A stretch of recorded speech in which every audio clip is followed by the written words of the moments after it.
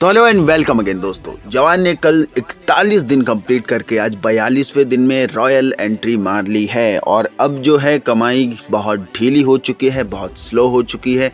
लेकिन दूसरी तरफ़ अगर देखा जाए तो मूवी आज बयालीसवें दिन में आते आते भी ज़बरदस्त कमाई कर रही है। हालाँकि लियो बहुत ही हाई ट्रेंडिंग टॉपिक पर जो लगातार बनी पड़ी है एडवांस बुकिंग में उसके अलग ही नंबर देखने को मिल रहे हैं। एडवांस बुकिंग में जो तबाही देखने को मिल रही है, कल शाम छः बजे तक का अगर मैं बताऊँ तो 125 करोड़ की सिर्फ़ एडवांस बुकिंग लियो ने कर ली थी।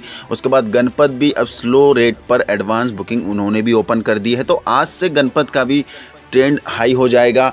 दूसरी तरफ़ कहीं ना कहीं मिशन रानीगंज और फुकरी थ्री भी अच्छे खासे सोच अपने खाते में ले चुकी हैं। तो जवान की कमाई अब स्लो हो गई है, लेकिन अभी भी जवान चल रही है। बाय गॉड अभी भी चल रही है। कल लियो मूवी रिलीज़ हो जाएगी, तब भी चलेगी, क्योंकि लियो का डंका इतना हिंदी में बसता नहीं दिख रहा है। मल्टीप्लेक्सेस में बिल्कुल भी कहीं से दूर दूर तक लियो देखने को नहीं मिल रही है, क्योंकि उनकी एक डील थी जो साइन नहीं हो पाई है। दैट्स वाई कि वहाँ पर लियो नहीं आ पाएगी। और गणपत का इतना ज़्यादा क्रेज़ लग नहीं रहा है। गणपत के मेकर्स बहुत ही लेजी तरीके से काम कर रहे हैं दैट्स वाई की, और अभी भी दस दिन और ये मूवी सिनेमा घर में टिकने वाली है। पचास या पचपन, लगभग साठ दिन ये मूवी आराम से टिकेगी और अच्छी खासी कमाई लेकर आएगी। लेकिन आप करोड़ों में नहीं, अब लाख्स में कमाई आ चुकी है। टोटल नेट इंडियन कलेक्शन अब एक करोड़ नहीं। करोड़ से नीचे आ चुका है, लेकिन फिर भी अब दशहरा स्टार्ट हो चुका है, दशहरा का वीकेंड स्टार्ट हो चुका है तो यस, दशहरा का वीकेंड भी अच्छा खासा नंबर यहाँ से देखे जा रहा है। तो ये बात करेंगे, जवान ने अभी तक कितनी कमाई कर ली है, कल कैसा दिन रहा, कल के दिन मतलब कितनी कमाई करी है, और आज का दिन कैसा चल रहा है मूवी का, और ये कितना कमा सकती है। तो चलिए, शुरू करते हैं। दोस्तों बॉक्स ऑफ़िस कलेक्शन की बात करें तो फ़र्स्ट डे मूवी ने कितनी कमाई करी थी 130 करोड़ का ह्यूज कलेक्शन किया था वर्ल्ड वाइड सिंगल डे में चौथे दिन संडे पड़ा था, जिस वजह से सिर्फ़ हिंदी से इकहत्तर करोड़ का भारी भरकम अमाउंट ही अपने खाते में ला चुकी थी। फ़र्स्ट वीक जब मूवी ने कंप्लीट किया था तो सिर्फ़ हिंदी से 327 करोड़ कमा चुकी थी और नेट इंडिया से 369 करोड़ और पूरी दुनिया से 660 करोड़ ये मूवी कमा चुकी थी।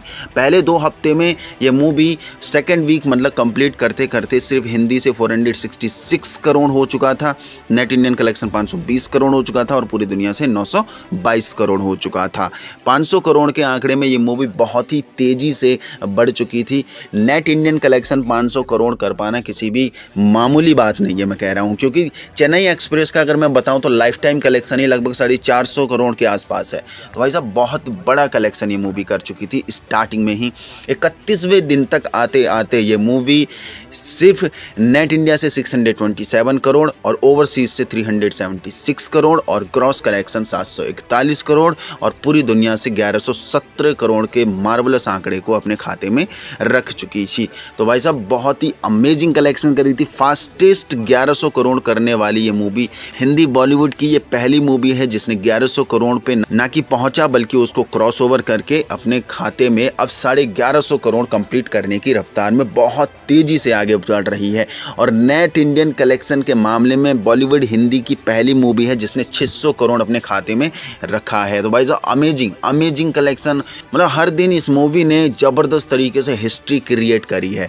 बात करें डे थर्टी की कलेक्शन की तो यहाँ तक आते आते टोटल हिंदी से मूवी फाइव करोड़ कमा चुकी थी और total net Indian collection six crore हो चुका था। ग्रॉस वहीं सात करोड़ और ओवरसीज से 377 करोड़ ये मूवी कमा चुकी थी। पूरी दुनिया से 1123 करोड़ 50 लाख का ह्यूज कलेक्शन अपने खाते में रख चुकी थी। बात करें, सैंतीसवें दिन ये मूवी कैसी कमाई करी थी? भाई, सैंतीसवें दिन तो अच्छी खासी कमाई करी अमेजिंग कमाई करी, क्योंकि इस दिन था national cinema day ticket price थे नाइन्टी नाइन रुपीज़ के।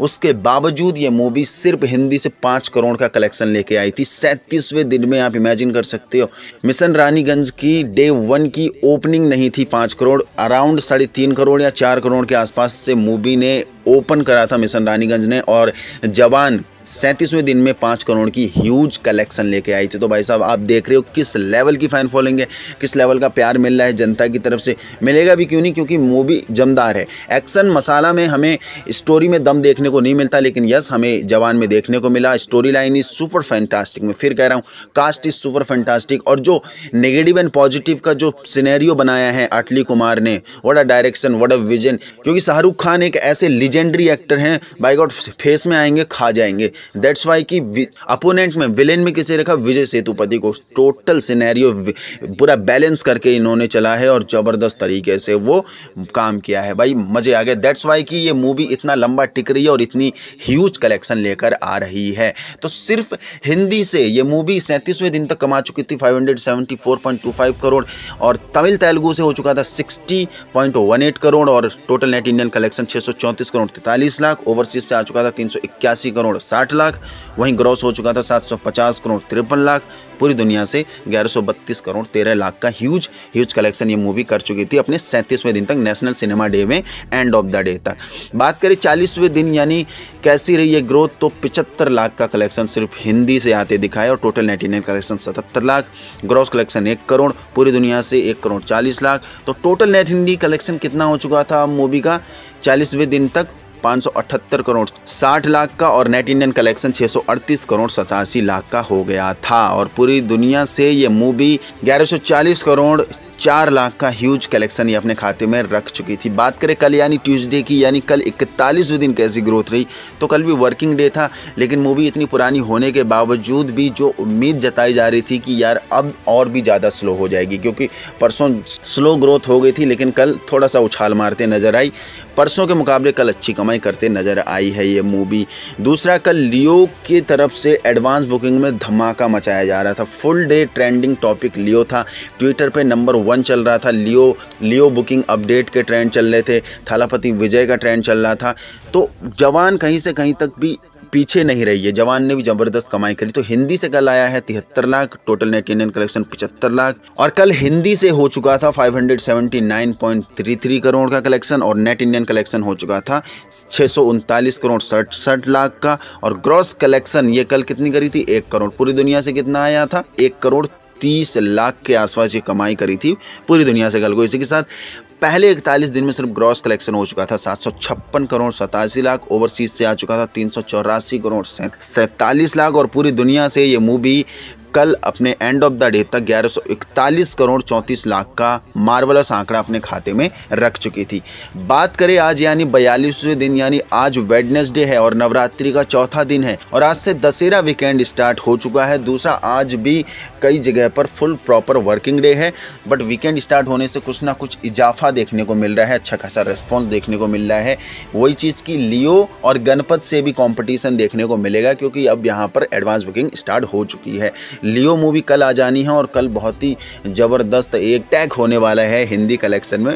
हालाँकि हिंदी से इतना अच्छा रिस्पॉन्स लियो को नहीं देखने को मिल रहा है। हिंदी से अभी जवान को अच्छे खासे सोच मिलते रहेंगे। ओवरऑल ऑक्यूपेंसी है आज की आठ से नौ परसेंट की, जिसमें से सिर्फ़ हिंदी से आ रहा है अठहत्तर लाख का कलेक्शन और अस्सी लाख का कलेक्शन आ रहा है नेट इंडिया से और पूरी दुनिया से डेढ़ करोड़ ये मूवी आज कमाते नज़र आ रही है।